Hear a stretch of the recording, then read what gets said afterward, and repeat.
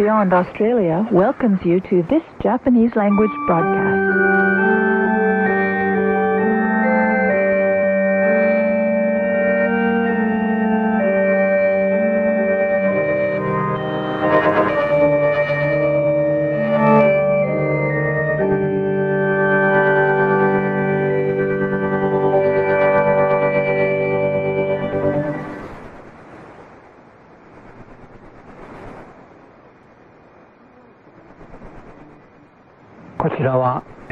CJB の日本語放送です。この時間はオーストラリア北西部のクヌヌラ送信所から日本語番組をお届けしています。週末土曜日と日曜日は朝と夜のこの時間に日本語番組を30分間お届けしています。放送時間と周波数は朝7時半からは 15.410MHz そして夜8時からの周波数は 15.565MHz に変更されました。夜の再放送の周波数は 15.565MHz です。こちらは HCJB の日本語放送です。日本語放送がアンデスの声として放送開始したのは1964年5月1日でした。今年は日本も平成の妙が終わり年号が新しく令和となりました。昭和から平成そして令和へと3代にわたって55年間日本語放送が続けられてまいりました。今日は皆様から日頃いただいておりますご質問に私がお答えしながらここまで ACJB 日本語放送が歩んできた55年にわたる歩みをお便り交換の時間でお手伝いいただいております荒川先生とご一緒に振り返ってみたいと思います。荒川先生こんにちは。リスナーの皆さん、こんにちは。HCJB 日本語放送55周年、おめでとうございます。荒川先生にはいつもリスナーの皆様からの番組に対するご感想やご希望などをこの時間ご紹介いただいておりますが、今日はリスナーの皆様から日頃いただいている HCJB への質問を取り上げて放送の内幕を覗いてみたいと思っています。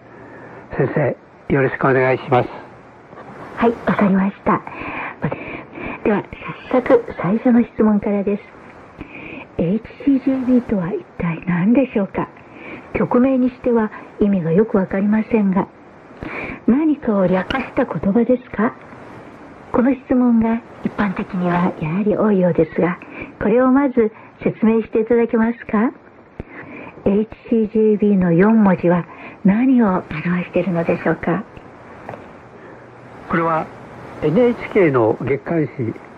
放送文化という雑誌でも取り上げられていました、え世界の放送局を紹介した時に HCJB はコールサインを曲名にしている珍しい曲の一つだと紹介してありました、え世界各国の放送局にはコールサインがあります。日本は最初の2文字が J と O に指定されています。そこで NHK の東京局は JOAK 大阪局は JOBK です。で南米エクアドルで放送局を設立した時にあてがわれたコールサインが HC です。で J と B は自分たちで選ばせてもらったのです。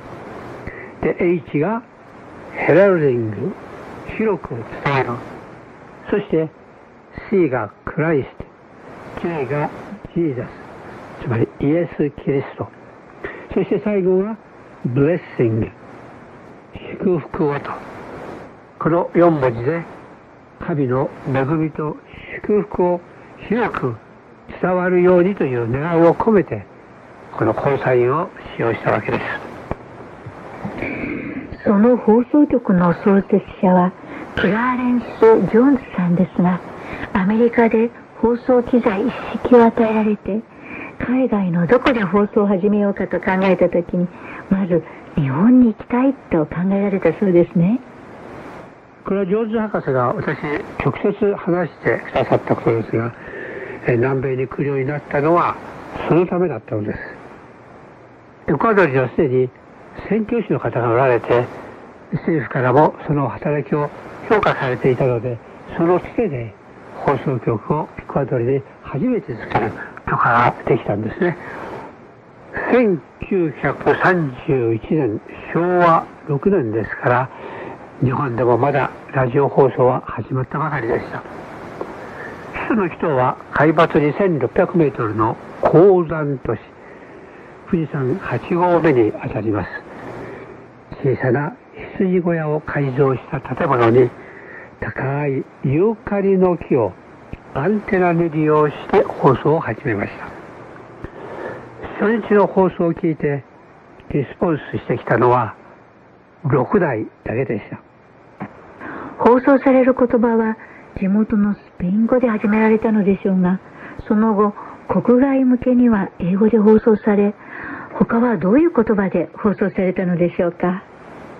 で他には宣教師の中にスウェーデン系の人がいました。そこでスウェーデン語が加わりそのうちロシア語そしてドイツ語。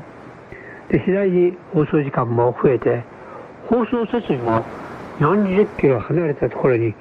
送信所が建設されさらに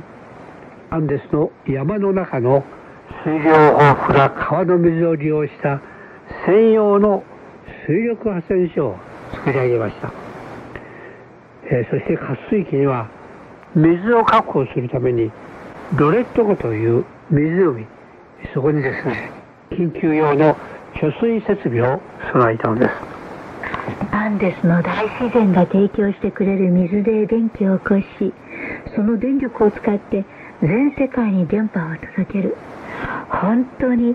天然に恵まれた理想的な場所で放送ができたのですね。いやそれだけではないんです。放送局が選ばれた場所は短波で世界に向けて放送するには最適の場所であることが後になって分かったのです。さてここで質問ですが荒川先生世界一高い山はどこでしょう？日本では富士山世界ではエベレストと言われていますが。そうですねでも地球は丸いと言われています。で実際は東西に向かって広がっているので楕円形ですよね。すると地球の中心から表面の距離までを測ると赤道付近にある場所は一番距離的には遠いところになります。そうすると赤道直下の国エクアドルの最高峰の山が一番地球の中では外に飛び出していると言えますね。つまり地球から一番遠い距離にある山はエクアドルの雪山シンボラソ6310メートルということになります。でここに赤道に降りた宇宙飛行士毛利守さんがエクアドルに来られその後お書きになった本があります。表紙を送りますとそこにシンボラソの美しい雪山のカラー写真が出てきます。でその下に書かれているコメントがありますので中野先生読んでみてください。エクアドルの最高峰シンボラッソここは地球上で一番宇宙に近いところ。地球が楕円形であるためにシンボラッソの頂上はチョモランマより2000メートルほど地球の中心から遠いのだ。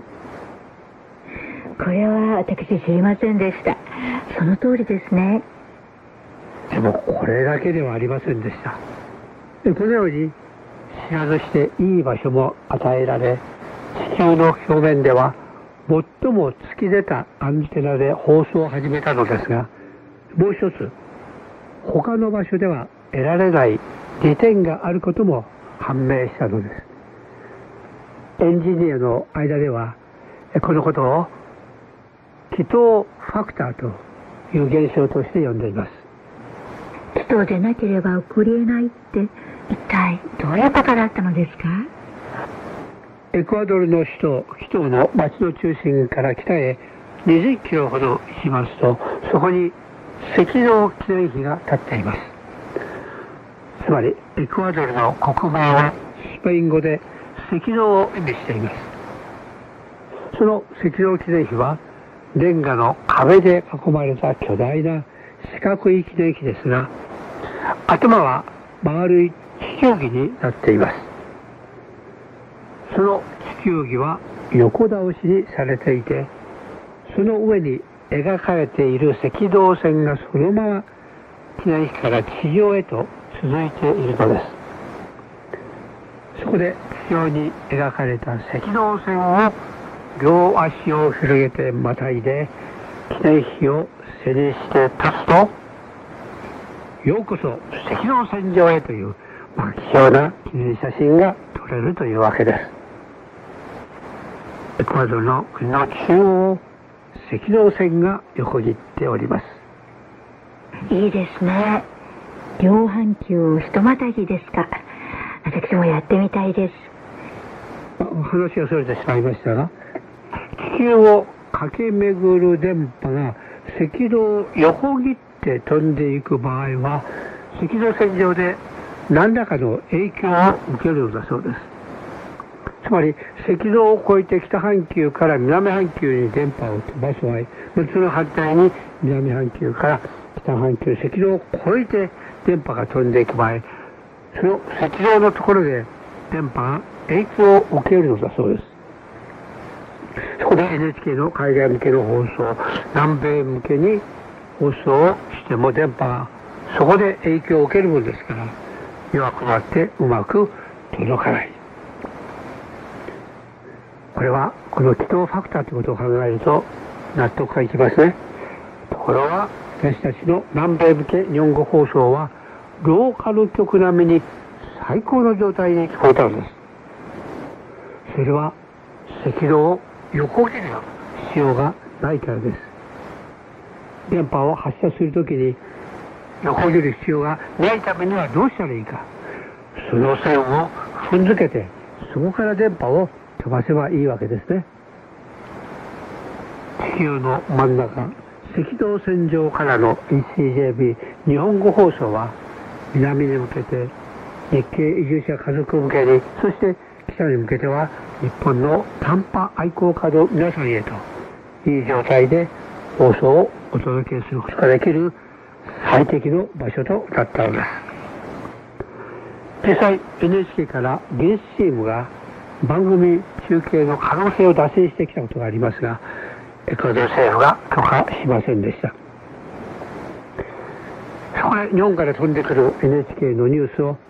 私は地球の真ん中でキャッチしてそれを南米向けの番組で読むことにしたのです。昭和天皇がお亡くなりになるまで続けました、えー、NHK の海外放送もよく聞こえるようにその頃からなっていったと思います。また大相撲のファンも多いのでまあ場所が始まると休めなくて大変でした。もともと HJB 日本語放送は南米の日系人移住者家族のための放送ということで始められたのですね。それは何がきっかけだったのですか？当時政府は南米移住者への対策に目を向けており昭和33年1958年に日本政府から移動大使として渋沢慶三さんを派遣しました。南米各国の施設をされそして海外移住者の実態調査をされてその報告書を南米通信という本にお書きになりました。そこに今後の課題についてこう書かれていたのです。これまでとかく見逃されがちであった移住者の精神的経済的なアフターケアを重視しなくてはならない。これを読んだ時にラジオならそれができる。移住者の心を慰め励ますことができるではないか。こう直感しました。そしてちょうどその時悟り明ラジオ牧師がブラジルを回りエクアドルの HCJB 放送局を視察して日本語放送を加えようという話までして強行されてきたのです。結果として太平洋放送協会のスタッフを海外派遣しようという形で私が出かけることになったのです。そして半年後に放送が始まりました。皆さんこんばんは。ご機嫌いかがでしょうか？アンデスの声の尾崎和夫です。尾崎佐子です。こちらはアンデスの声 HCJB の日本語放送です。南米赤道の国エクアドルの首都キトからお送りしております。全てが備えられて記念すべき日が迎えられて嬉しかったことでしょう日本語放送が開始されて今度は南米のリスナーからの反響が気になるところですがそれはどうだったのですか？放送という言葉はあこれっぱなしと読めますが目に見えない電波が空を飛んで果たしてどこまで届くのかまた本当によく聞こえるのかそれはそれは気がかりでした。1週間経ってやっと一通の封書がブラジルから届きました。さあ急いで開けて読んでみますとローカル放送並みに強力に飛び込んできたというので驚きました。短波放送の威力ってすごいなと改めて感心しました。でその手紙には家族みんなで大喜びして30分の放送を初めから終わりまで楽しく聞きました。おばあちゃんなどはこんないい放送してくださるなんてどこの誰でしょうねと涙を流して喜んでいました。いや嬉しかったのはこっちの方です。それで分かったことは短波放送というのはちゃんと普通のように聞こえるのだということです。そして地球を駆け巡るので受信機さえあればどこでもキャッチできるのだということを改めて認識させられました。80年代の BCL ブームその中心的役割を果たした山田浩二さんがいち早く南米向けの電波を日本でキャッチしてレポートを届けてくださいました。放送を開始した5月には55数次の月6月が66数7月には99数と手紙の数は増え続けていきました。その年の終わりまでには432通になりました。そして日本からも114通の受信レポートが届いたのです。地球ぐるりの短波放送ということで HGB は南米向けだけではなく日本向けにも放送を始められその結果1970年代後半から1980年にかけてはいわゆる BCL ブームになりましたね。レポートの数も月最高7000通と対応できないような数が届いたと聞きましたが大変だったことでしょう。これも思いがけないことでした。HCJB には国内に施設の郵便受けの場所があり日本語舞踊にはサイズの大きいメールボックスを用意してくれたのですがそれでも手紙が入りきれないので自分たちで段ボールの箱を用意して手紙を受け取りに行きました。そんなにたくさんの手紙を受け取ってその処理はどのようにされたのですか？いやみんなに手伝ってもらいましたね。封を切ることなら誰でもできるということで仲間の宣教師家族の人たちにも手を貸してもらいました、え、日本人家族の奥様方、え、何人かが臨時に返信の手伝いに来てくださいました、まあ、大変だったと思います。私は番組制作に追われているので返信業務は家内の施策は周りの人たちの協力を仰ぎながら手紙の山と取り組む毎日でした。本当に手紙の山に埋まるという経験をされたんですね。一通一通の手紙の背後には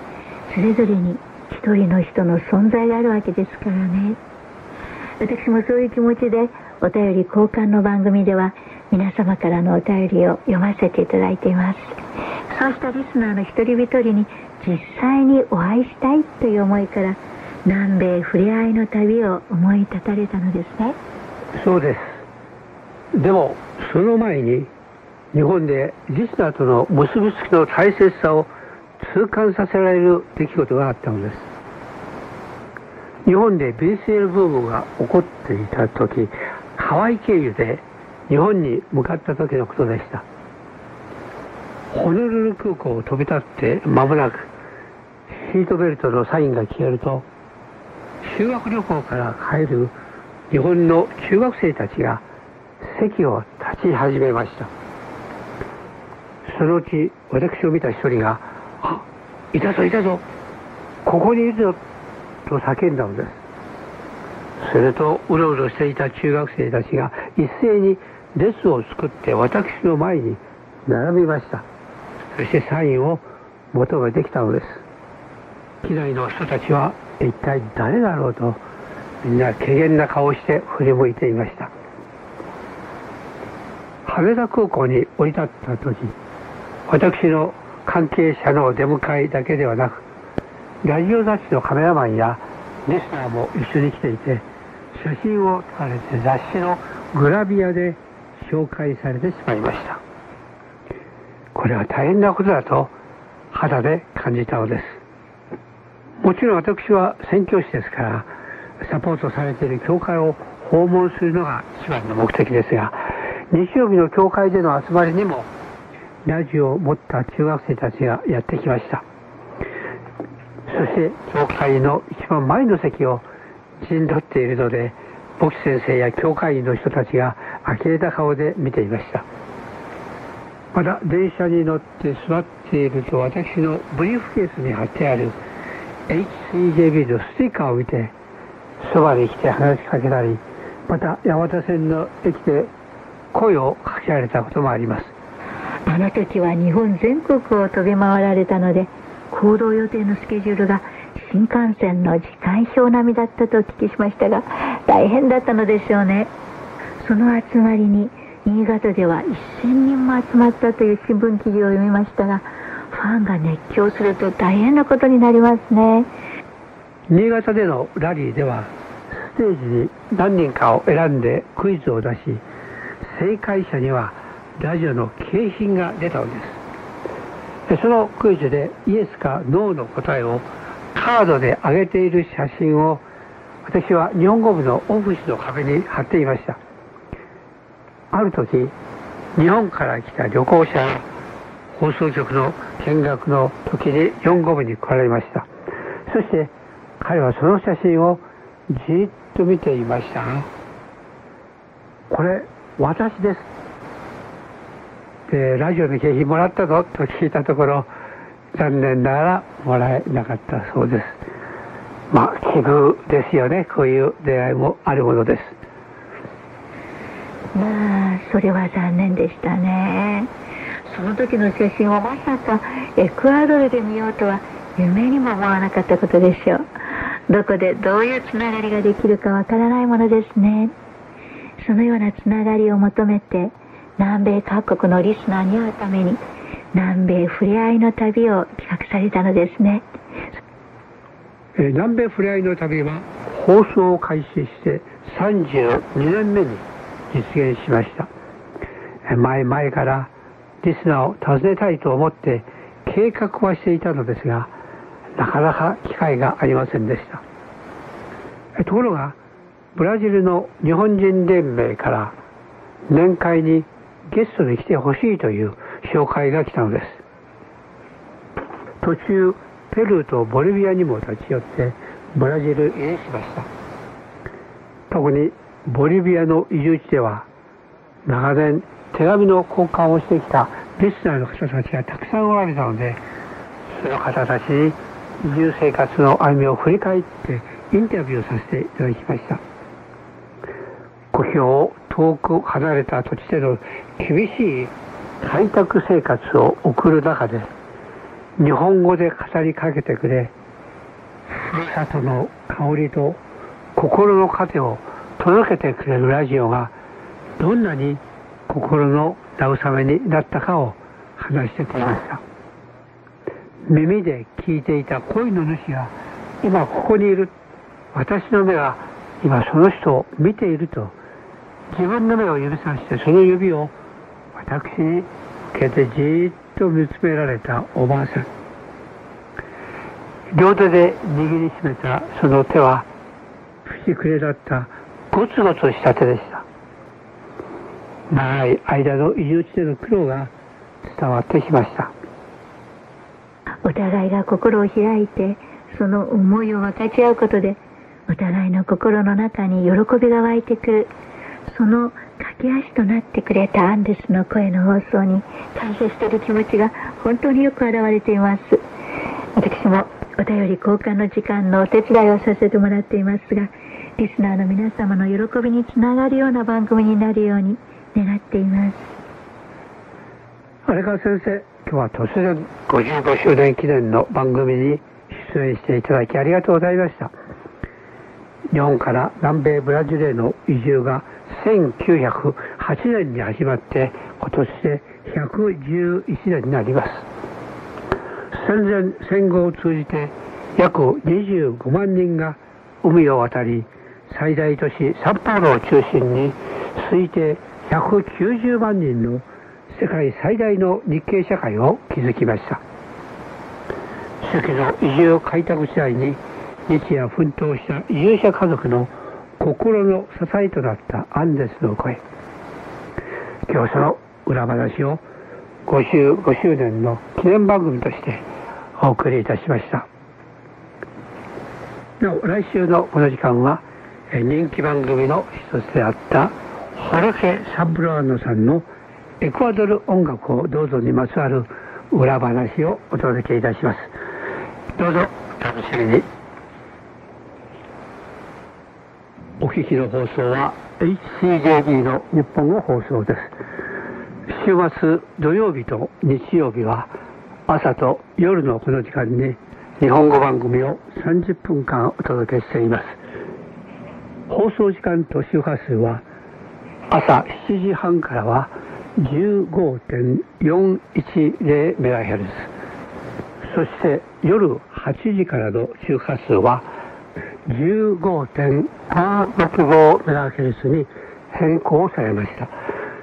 夜の再放送の周波数は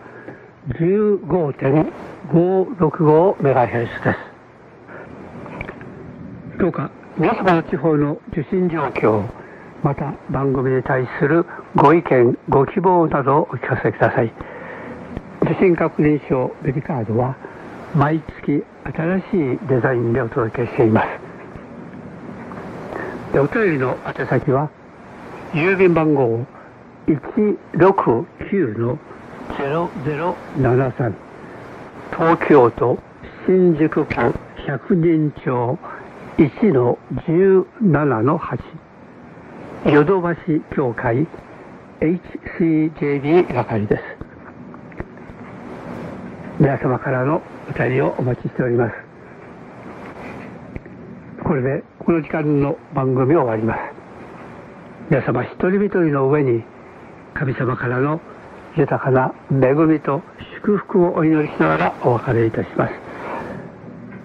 それでは次の放送までどうぞごきげんよう。さようなら。